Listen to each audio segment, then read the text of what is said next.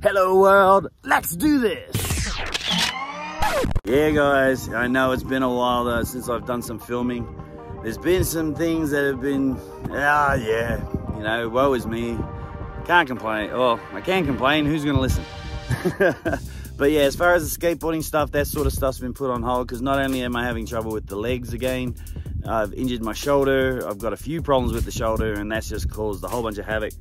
So yeah, unfortunately the skateboarding is sort of like on pause and it's bumming me out because I was just starting to get back into it and that was so much fun. I can always make some sort of skateboarding videos and somehow if you're still interested in watching it, don't know what I'll do, but it just won't be me skating unfortunately. Anyway, I've got a new camera and I'm trying that out for the next lot of videos.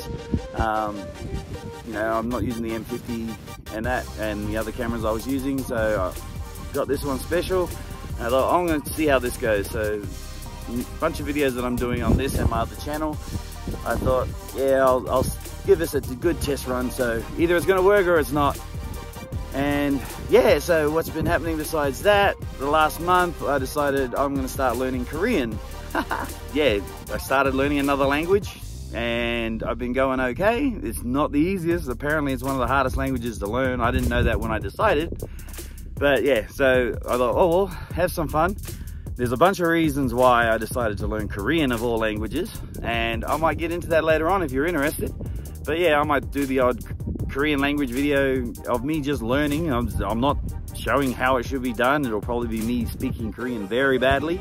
It was like, yeah, why not try something? Because I can't just sit around and, you know, do nothing and it's that, you know, and as, as this channel's all about, having some fun, learning new skills and getting out there, living life, even when things aren't going the way you want them to. I'm gonna try and move the camera because I know that it's getting a bit windy, but the skateboarding's just gonna have to be on hiatus until my body allows me to actually do something like that. You know, I've, I've, improved to where we've started hiking again and we're in the Blue Mountains as you can see.